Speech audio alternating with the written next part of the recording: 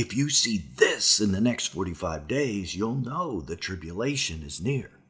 Now, Israel hasn't had a perfect red heifer in 2,000 years, but last fall, five perfect red heifers were airlifted in from Texas by Christian ranchers who knew how important these animals were prophetically to the return of Jesus and thus to us all.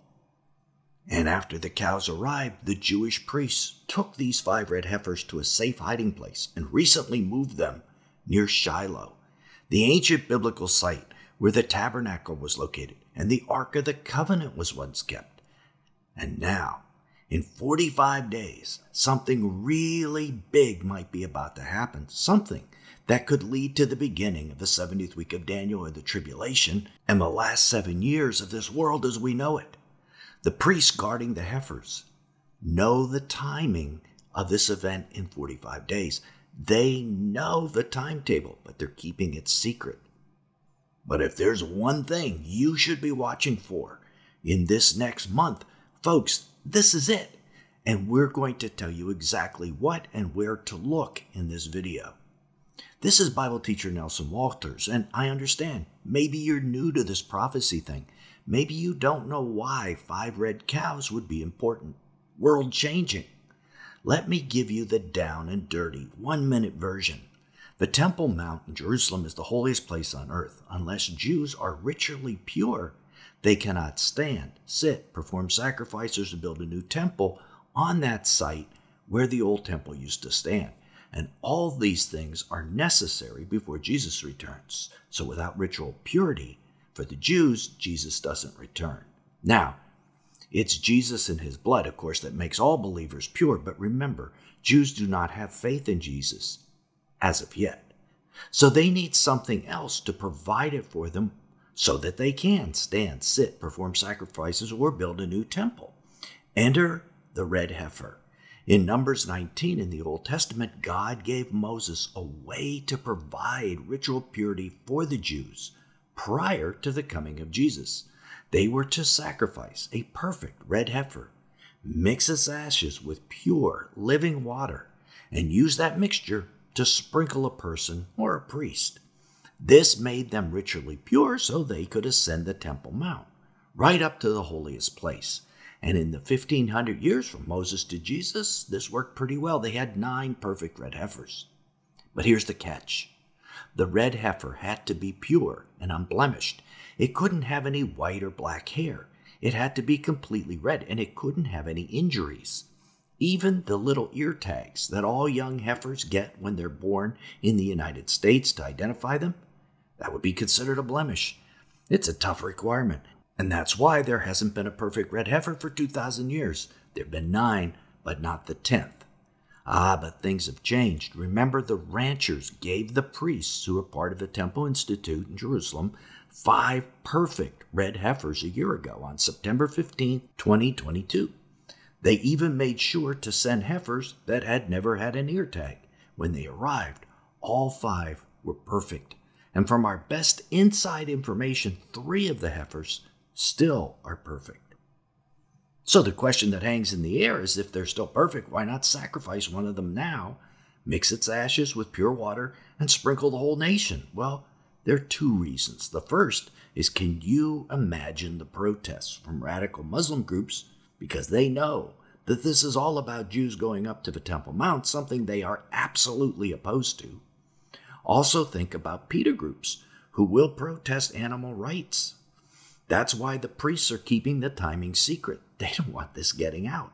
And second, and more important from a religious point of view, is the age of the heifers. According to the Talmud, the writings of the ancient Jewish scribes and rabbis, a heifer has to be two years and one day old to be called a heifer. How old are they now? They were one year old last year when they arrived. Here is the man who found the heifers explaining that age requirement. The, the, the mark on when they can be used for the sacri- for the ceremony is actually at two years and one day. They have to be in their third years. There's a lot of misconception. People are saying they have to be three, three so yeah. in their fourth year, but yeah. no, they have to be in going into their third year, and yeah. then it's okay. So they're going to be ready to sacrifice very soon. I think it's likely there will be a 10th red heifer. Now, we said it will happen soon, but how soon is very soon? And where is that sacrifice going to take place? We're going to talk about that in just a minute. But first, let's talk about the 70th week of Daniel and the tribulation. How is this red heifer thing related to the return of Jesus? We said it was, but we didn't explain exactly how it will be. So we're going to do that right now. In Daniel 9:27, the verse that most clearly speaks of the tribulation, we read, "And he will confirm a covenant with the many for one week, but in the middle of the week he will put a stop to sacrifice and grain offering, and on the wing of abominations will become one who makes desolate." That happens to be the Antichrist, by the way, until a complete destruction, one that is decreed gushes forth on the one who makes desolate. That happens to be when Jesus comes back and kills the Antichrist, by the way. So, in order, we see a covenant with the many is made. Then, halfway through the seven year period, sacrifices and offerings are ended. That's a really big clue, because in order for them to end, they have to begin. So, in order for the end to take place at the return of Jesus, sacrifices will have to begin and then be taken away. And we know that they need a red heifer first to have the purity to be able to stand on the Temple Mount and make the sacrifices. So, red heifer must take place first. The next question is Will the covenant with the many be related to the start of these sacrifices? We seem to indicate that maybe it could be. Well, we don't know for sure. The Bible isn't clear, but we realize something has to happen for things to go from where it is now, Muslims controlling the Temple Mount, not even allowing the Jews to pray there, which, as we said, is the current situation, to a point where the twice daily sacrifices begin. Something is going to have to change, and likely that is the covenant with the many that we also read about in this verse. An agreement with many people, possibly the whole world. And a provision in that covenant may give Israel the right to do those sacrifices. And of course, in exchange, we'll have to give something to the Muslim Palestinians who are opposing the Jews even going up to the Temple Mount. Most likely, this will be the division of the land of Israel in a two state solution, giving the Palestinians a homeland. What is the impetus for this happening? Maybe the sacrifice of the heifer. Maybe once that happens, a once in 2,000 year sacrifice, every religious Jew and every semi religious Jew will be clamoring for the resumption of sacrifices. Once they can do it, they will want to do it. Once the Israeli politicians see this movement in the nation, they will begin negotiations for the covenant with the many, giving away land to be able to do those sacrifices. And that will launch the 70th week. Okay, so if the heifers are likely the impetus for the negotiations of the covenant, when does the sacrifice happen? We've been hinting at this in the whole video. Well, it depends on the age of the heifers. We just said the heifers must be two years and one day old to be eligible. So, when will the heifers be two years old? The Jewish priests aren't saying, but in a recent video on our channel, the same man who found the heifers and sent the heifers to Israel let us know. Let's listen. And uh, the other brother is the rancher. Now he's when he was a veterinarian his whole life, and his name is Ty. Mm-hmm. And so we get there, and I meet Ty, and he's the most personable, sweetest man you ever met in your life. And he mm-hmm. was so excited that we were there to hunt for red heifers, yeah. because when he started his ranch in the 1990s. He mm-hmm. wanted, he loved the Bible and he loved the story of Numbers 19 and he wanted to raise the reddest wow of red Angus that you could raise. So wow. he purposely had traveled all over the United States, had bought the reddest bulls he could find out wow. of Minnesota, put his whole herd together around these red cattle because wow. of numbers 19 and he says byron if i'd have just known you know it's seed season uh, mm-hmm. is in october and by this time we'd already found the ones down by houston but now it's in october if i'd have known i had some born that i think were all red but we've tagged all of them mm. i said well Ty, you, gave, you got 250 head of cows. There's some of them still going to give birth. Well, a few, you know, yeah. I said, well, let's just pray. We, and uh, we got under a tree. We prayed, Lord, if it's your will, give us a red heifer. Yeah. So we got back in his Ranger and we drove down through the brush. And lo and behold, there was a beautiful red heifer had just been born, Wow. laying at the feet of its mother Wow. right there waiting on us. Wow. It was absolutely incredible. And that was just number one that he was given. Before it was over, there were more burrs, and almost all of them perfectly red heifers. We actually flew some more head rabbis, uh, very respected rabbis from, uh, had a team of about five, flew in and inspected all of them. So the five you took to Israel, they came from Houston and, and, and Yeah. northern Dallas. So the cows were born in October 2021, which means they will be two years old during the next 45 days. But when will they be sacrificed?